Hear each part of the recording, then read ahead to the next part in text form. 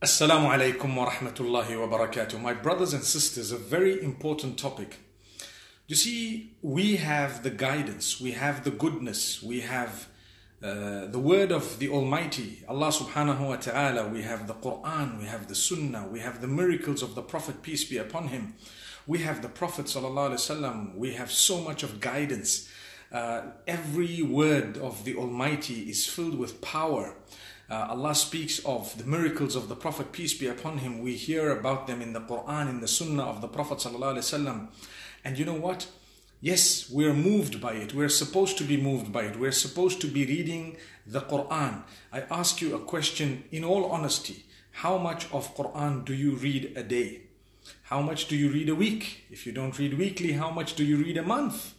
And I'm sure every one of us can do better if you do read it, do you read it with its meaning or do you not read it with its meaning? so, I've been seeing a lot of posts of food items as well as little markings on various uh, things, sometimes on human beings, sometimes in nature, where people tend to see things based on their imagination that are not actually there and sometimes they're fraudulently there, which means they were put. So you have someone pretending like there is a tattoo with the name of Allah written on it. And uh, they're showing it to you on the hand, on the face, on the chest, on, on where, wherever else, and trying to make that evidence to prove that Islam is the truth. Okay? I've seen people come up with a tomato or tomato, according to the American accent, tomato, okay? Tomato. And they show you on that tomato, look, it says Allah on here. I've seen people come with a brinjal, with an egg fruit, you know, and they they, they have a sliced one, they're frying it, and suddenly they say, look, it says Allah on here. That, that's supposed to be evidence that Islam is the truth.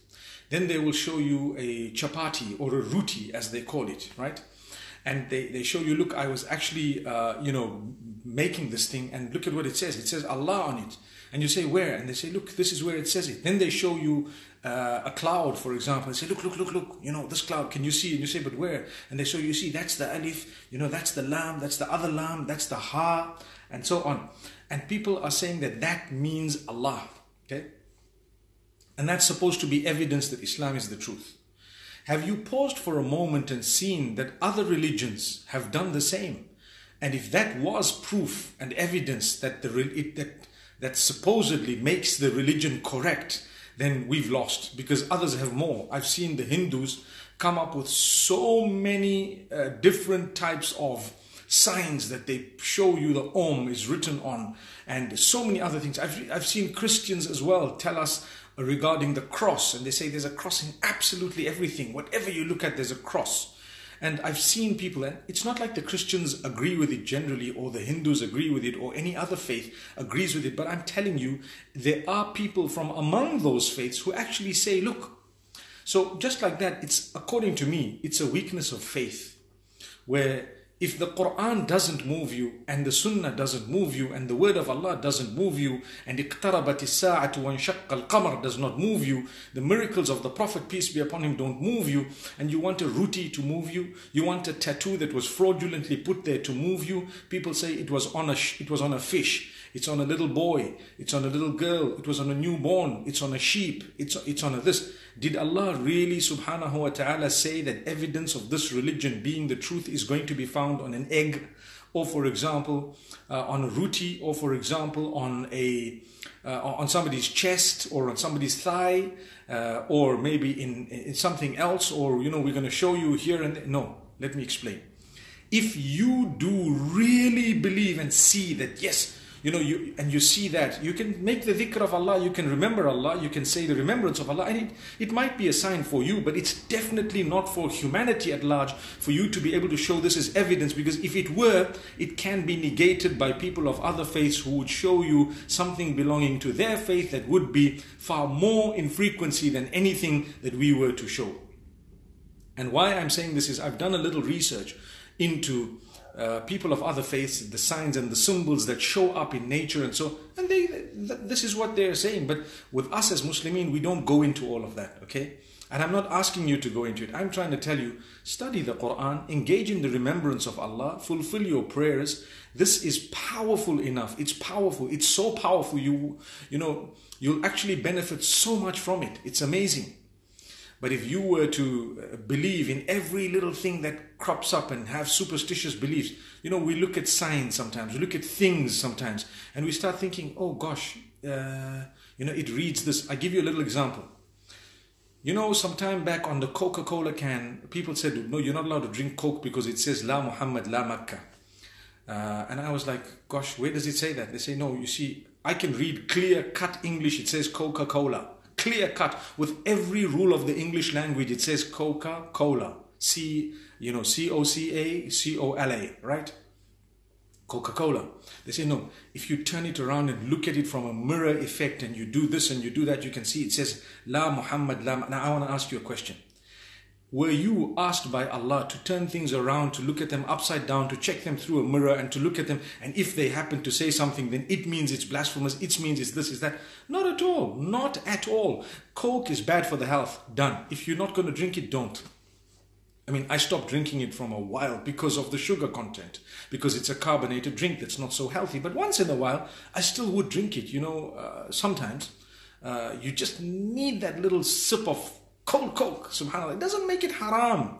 But I am telling you, yes, it might not be healthy, and perhaps you want to stay away from it, stay away from it. But don't come up with some weird ideas to say, look, if you were to look at it from the other way and turn it and do this. Recently, and and I'm and if it's something clear cut where you know that it's not written in any language and I'm looking at it and they've written it only and solely in the Arabic language proper with the rules and regulations of the Arabic language then indeed we have every right to say look these guys are intentionally or maybe unintentionally or for whatever reason they're blaspheming or they're creating trouble.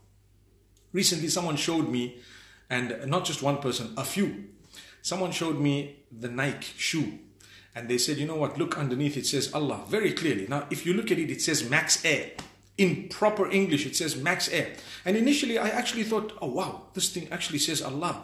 But they turned it around. So naturally, when you're writing the M, it's going to look like the, the, the other part of Allah that way around. And if you put an A, for example, the A is going to look like the Ha, that's that way there. So were you asked by Allah to turn things around and check what they look like and so on? They say, no, it's quite clear initially I also thought, what's going on? But then I quickly realized when I spoke to several scholars and they said, listen, this is the English language, this is how it's written. When you're writing in joining handwriting or when you're writing it in a specific way, this is what it says. And the Muslims get so angry, but those are the same Muslims who at times don't read Salah, they don't even read the Quran, they don't engage in the dhikr of Allah, they don't even dress appropriately, they probably drink, they probably do so many things.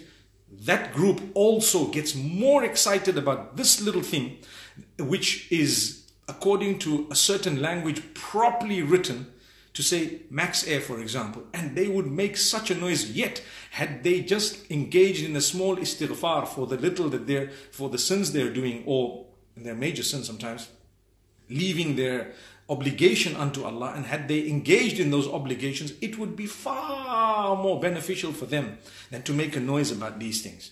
So it's just something I decided to say because uh, a friend of mine sent me a, a, little image this morning of someone whose uh, you know chest was tattooed with Allah written on it and subhanallah. You know the world started saying mashallah subhanallah alhamdulillah. And I'm like gosh you know this could be fraudulent. It could not be fraudulent just to make someone famous etc it could be or couldn't be. If it is it's a sign for them not for the whole world. And if it if it if it was fraudulent then we're all being you know subhanallah made a fool of. And this is why I say if that was the way Allah wanted to prove that a religion is valid, then definitely we've lost. That's not the way Allah said a religion is valid. A religious validity, the validity of a religion is based on its teachings.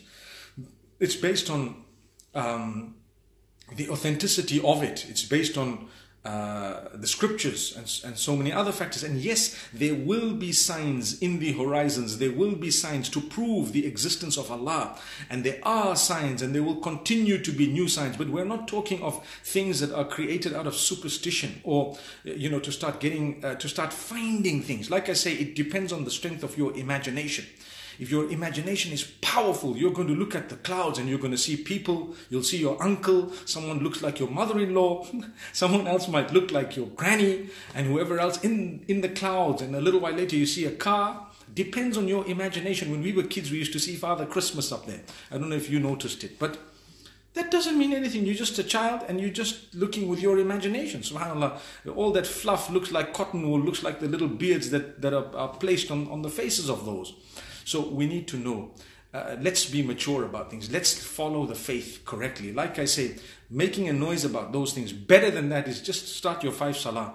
You read the Quran on a daily basis. I think many of us can improve on that. We don't read the Quran on a daily basis. If we do, I think we, we don't even know the meaning of it. So let's learn the meaning of it, inshallah. May Allah bless you guys and grant every one of us goodness. And I pray that what I've said is understood by the people. And I hope that you can actually look at things in perspective and understand what your duty is as a believer.